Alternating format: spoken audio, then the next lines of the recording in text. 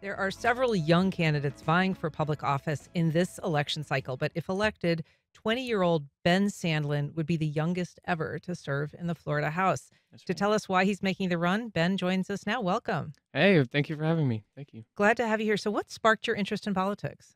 Um, honestly, it all started when I went to when I started at UCF last last fall. Um, I got involved with uh the the school's chapter of March for Our Lives, and um, I got into organizing, and uh, we uh in my first week of uh being with them, I traveled to Tallahassee to to uh, lobby against or to testify against uh, uh HB 999, which uh, is the permitless carry bill, and Remind us what March for Our Lives. That's an anti-gun or kind of Uh, a gun control. Yeah, advocating for uh, gun safety laws. Yeah. Okay. And so the bill you were speaking on was a bill that would have uh, restricted permitless gun carry. No, it would have. Um, it would have. Uh, like it would have allowed it. Perm. Uh, so people can uh, um, carry around, uh, have more license to carry around firearms, firearms without a permit. And I was there to testify against that as um, uh, as a young person growing up in in in the state. Um, it, it just uh, five years after uh, the anniversary of uh, the Parkland shooting, and um, we I, I got involved that way, and that sparked into me getting more into uh, organizing on, on campus, and uh, yeah, I, I ended up being the co-director for a little bit, and uh, but uh, since I've left UCF, I'm uh, I'm back home, and uh, And that's you're at UNF now. yes, Okay. yes, I am. So you're seeking the District 12 seat and you're challenging the incumbent Wyman Duggan. Mhm. He's a Republican. You're running as a Democrat. I sure am. Um, so this is a district that runs basically from the South Bank along the east side of the St. Johns River all the way down to the county line, and then also kind of hops over the river in to include NAS Jackson, a little bit of the west side. Mm. Um, why are you cha- why are you challenging him in particular?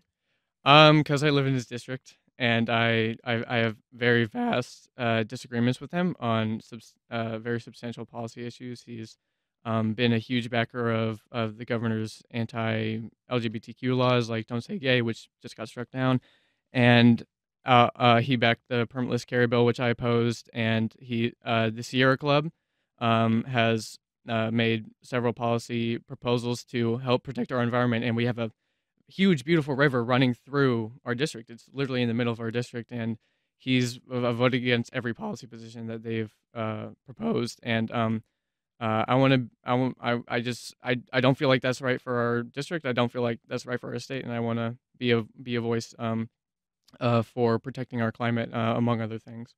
So we should note that Wyman Duggan will appear on First Coast Connect on Monday, August 12th. Um, tell us a little bit about yourself. You said you're Jacksonville native. You went to Douglas Anderson, Mhm. studied musical theater. Yes. Yeah. Um, and what is it that you are currently studying? What is your area of interest in your future? Um, I'm studying physics at the University of North Florida, and um, it's a lot of fun. It's very interesting. Um, it it wasn't previously my forte. Um, I, I I studied political science at UCF, but um, uh, I, I was pretty engaged in political stuff already, and uh, I was I'm, I'm a very I follow politics very closely, so I wanted to switch over to something that's a little more challenging, and it and it certainly is challenging. Um, but um, I have a research position, an assistant research position at uh, UNF, um, as uh, we're doing this uh, lab on uh, uh, how students answer questions, um, answer math problems where they're looking when they're analyzing what to gauge when they're answering questions. And I, if, and I'd like to end up doing something like that, something in the re- research side of things.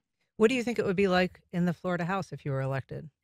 Um, it the odds would certainly be against me. Um, we have a super. The Republicans have a super majority now, and I I I doubt that wouldn't be the case upon uh taking office. But um, you know, I I will certainly have friends there. Um, if if I'm elected.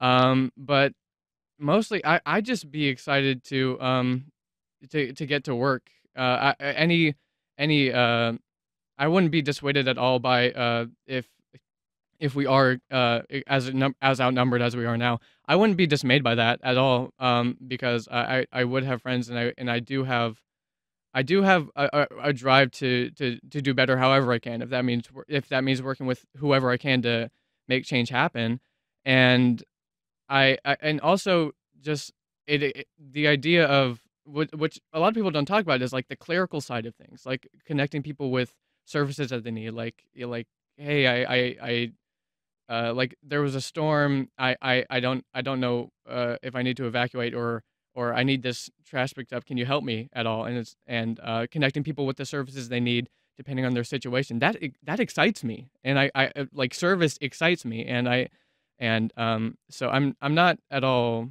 shy about it. I'm not uh I'm not I I, I don't intend to uh be uh you know I have my mood dampened by um anything I may encounter because really, I, it, it uh, service excites me, and if I'm elected, I'd, I'd be ready to get to work on day one. So it's a combative environment in the. House, particularly. Um, how are you at compromise? How are you at working with people that you really disagree with? Pretty good. Um, I, I, at UCF, um, I was in student government uh for a little bit, and it was uh, uh, you know, we didn't agree on everything. There were people who had vast disagreements, and we needed to, and and I and I have experience in that regard, albeit at a much low cal- lower caliber setting, but like I have I have experience working um, with people that disagree with me and and finding common ground uh, common ground with people. Um, um, and but I and I don't I don't think that that'd be particularly the, hardest part of the job.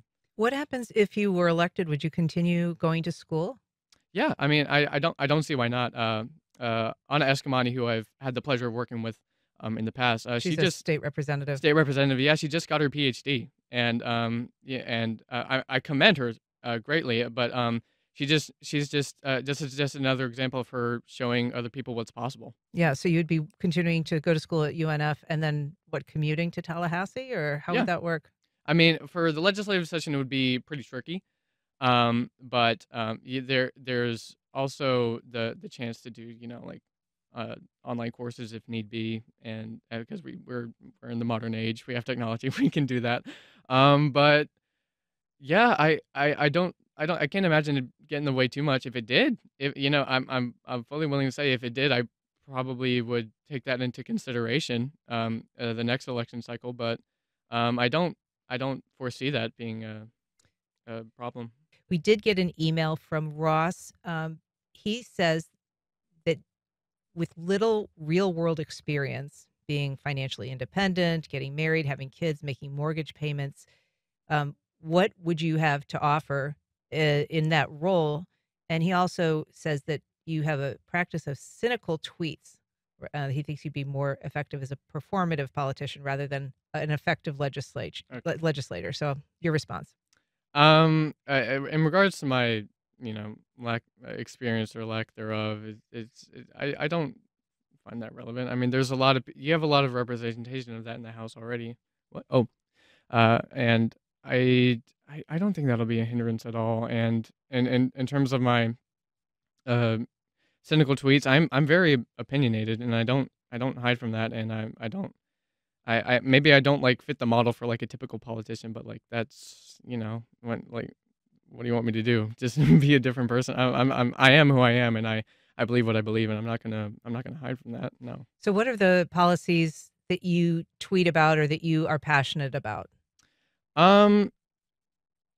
Now that it, I I think about, I I just I have very adamant beliefs that you know we need police accountability, and um uh, that that can be controversial in Florida, but you know I I don't What does that mean to you, accountability? accountability that uh for example um there was a, a bill that pla- that pa- that passed the Florida legislature that um uh that was proposed and uh helped uh, to be passed by my opponent um that would uh eliminate the right of municipalities to um form like civilian review boards um uh for like for like civilian overview of like police um actions and I just I I I, I don't think that's right because I I just think you know we everyone makes mistakes, no less um the people that um that wear a badge, and um they they need I believe they need a force just like anyone else to be held accountable, and um unfortunately that's very controversial, but um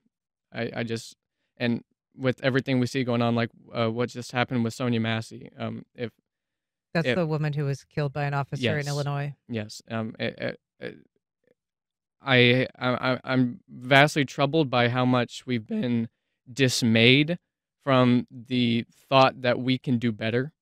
um, that uh, we can do right by our citizens and do a better job of keeping people safe, um, especially like uh, there there were so many oversights in that case. Like the, the the officer that killed her should never have been given a badge. Period. Period. And uh, the fact that uh, we've had so many arrests within JSO just this past year, um, it shows that uh, uh, that obviously like the people that are signing up for this dangerous job, um, that they they obviously they're still human and they need and they make mistakes and they need to be um, held accountable when they when they breach the public trust. I want to ask you a little bit about campaign finance Mm. because your opponent has raised personally over a $100,000, but he also has a political action hmm committee that he has access to that has about half a million dollars remaining. I mean, um, hmm it, it had about a million dollars raised. You've got, I think, maybe a little over a thousand dollars hmm remaining in your account, um, have having raised about three thousand. So hmm a little bit of a David Goliath Yeah, for sure. circumstance there on on the money. hmm Yeah, I mean, um, fundraising is difficult, and especially when uh, you're a student and you're um, uh, working two jobs. Uh, it's it can it can be difficult. Um, but I've rec- I, I I'm just taking every opportunity I can get, and taking nothing for granted. And um, I believe uh, the use the resources I have been granted, I've um, done well with them. And um, if if anyone would like to help me correct that error, feel free. By by donating, you mean? Yeah, Okay. why not? We've got a call from Cynthia in Ortega. Go ahead, Cynthia.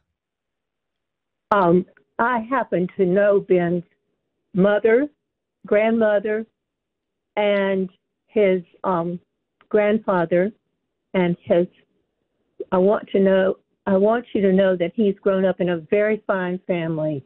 Jack Gaillard, his grandfather, contributed so much during his lifetime to the Jacksonville community and service, and I am. I just applaud Ben for this what I would say is a courageous stand to run for the legislature, and I hope that he wins. And I would love to help him in any way I can.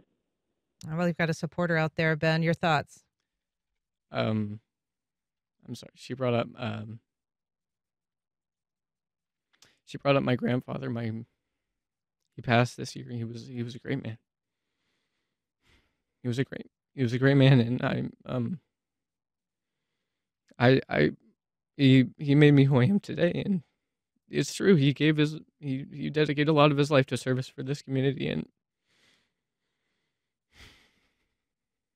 well, whatever happens, I just I just want to. Uh, I'm sorry. I'm so sorry, but I just want to. No, that's okay. I just I just want to make sure I'm. I carry on his legacy, man, because he man, what a what a guy. Well, I uh, our condolences for your grandfather. He sounds like a great man.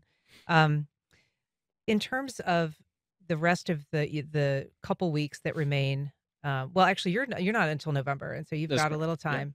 Um, you going to uh, continue to campaign? I guess we'll continue to hear from you. Oh yeah. Um, ben Sandlin, uh, looking to be the youngest elected member of the Florida House. Thanks so much for being here today. Thank you for having me.